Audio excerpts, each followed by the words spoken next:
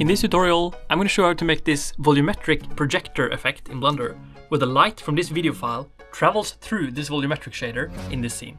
And the best part about this workflow is that it works with any video file.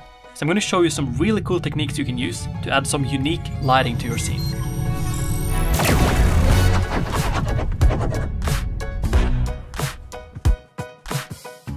So here we are in Blender version 4.5 and I'm going to start out by changing our render engine to cycles. So let's go to the render properties and let's set the render engine from Eevee to cycles. And then if your GPU compute is grayed out there, you need to go to edit, preferences, and then let's go to system. And here you can see you have the cycles render devices and then you set it to whatever GPU you have because this will be a lot faster if we use our GPU. And now in the top right corner, let's change our viewport shading to rendered. So now we can see our render view and we can delete everything. And we can make a plane, for example. And if we go Shift A, light, spot, now you can press G and Z and you can move this spotlight up. And you can see that we have a spotlight in our scene. So now you can right click and you can go adjust light power and you can just move this to increase the power. But no matter how bright you make this, you will never be able to see the cone just by the default settings. So this entire effect is all about making a huge volumetric shader so we can see this light here. And then we're going to add a video texture to this spotlight. So first of all, to make a huge volumetric object, we can actually just set our entire world to be volumetric. So let's just right click and do a vertical split. And then let's set this to be the shader editor. And then we can change this from object to world. And now here you can see you have the background. So we need to set this back to render view here. And now if you take this background, you can just press X to delete it.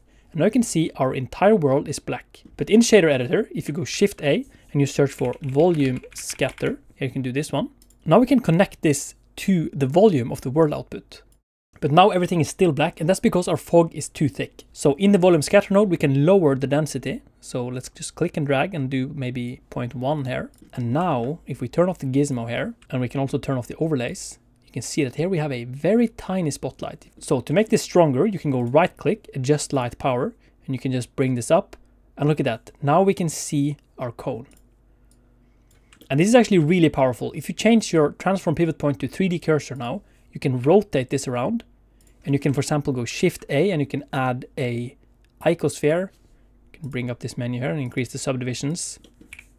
And you can move it on the Z axis by pressing G and Z. And look at this. This is already a pretty cool effect. We have this really interesting volumetric effect, which creates these God rays like this. But we can make it look even better by adding a video texture to this spotlight here. So let me just press Ctrl Z a bunch of times. Yeah, there we go. So to add a texture to this spotlight, we're going to use the shader nodes. So let's change this back from world shader to object shader.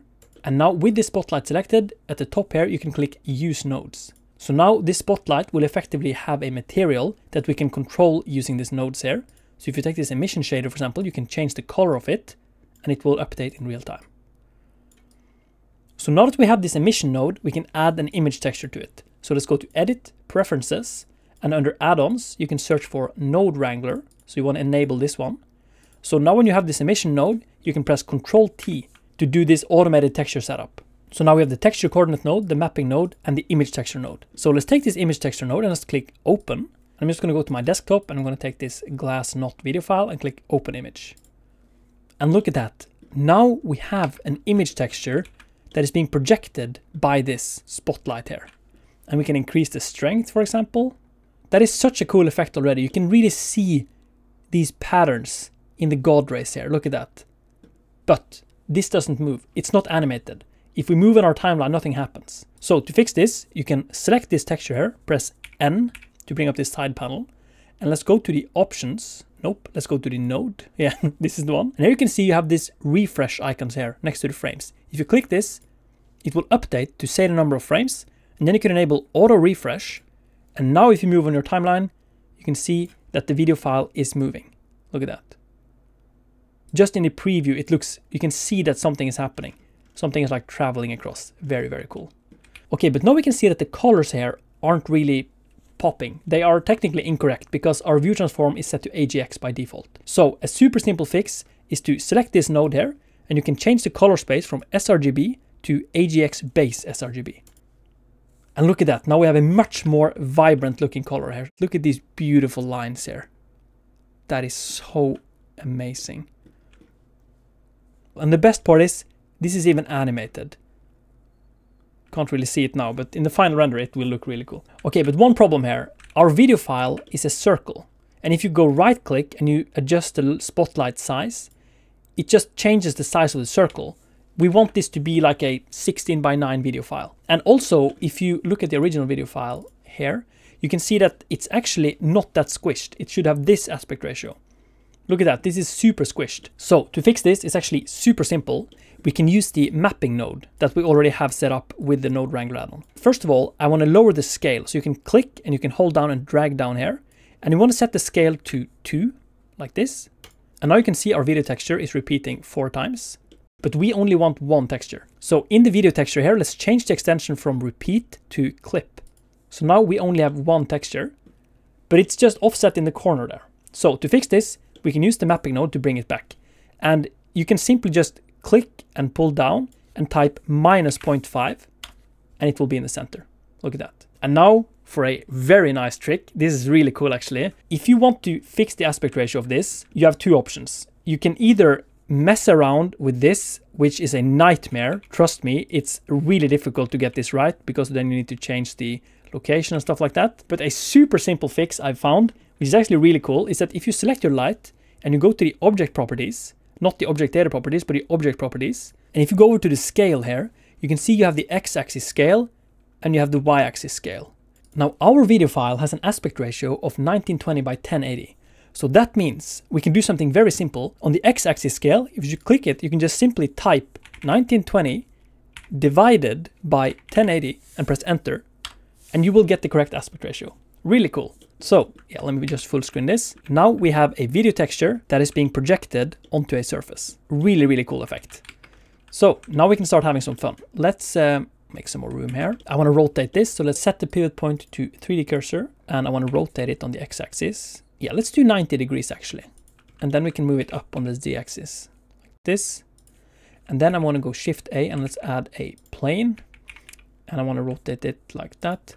Oh, by the way, you just got a sneak peek of my upcoming Blender add-on, which will be free. So stay tuned for that. if we move this plane up like this, yeah, I think this is a good, uh, it's like a movie screen projector. Look at that, that's such a cool effect already.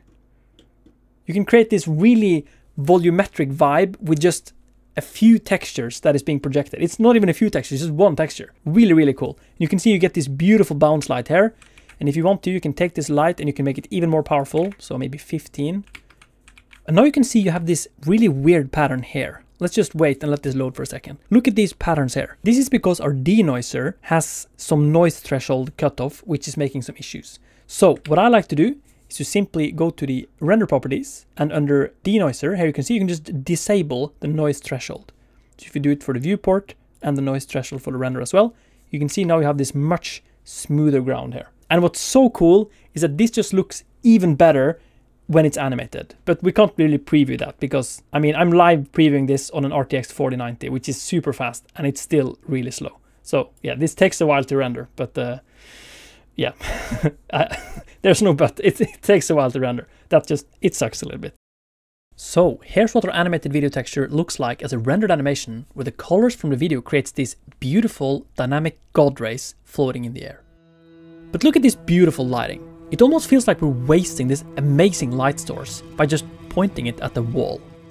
What if, instead of projecting these light rays onto a flat, two-dimensional plane, we'll use this projector technique to light up a scene with an object in it? So to have something that will catch this beautiful light, we can use a free 3D model of this marble bust, and with a subsurface scattering shader, we'll get some really soft and interesting details in the surface of the model. Then we can add a ground plane and give it a texture as well, and now we have a scene that we can start lighting. But this is where things start to get interesting. Even though we only have one spotlight object, it turns out our marble bust is being lit from every direction, because the volumetric shader creates this cage of light that is based on the video file. Which got me thinking, what happens if we change the video file?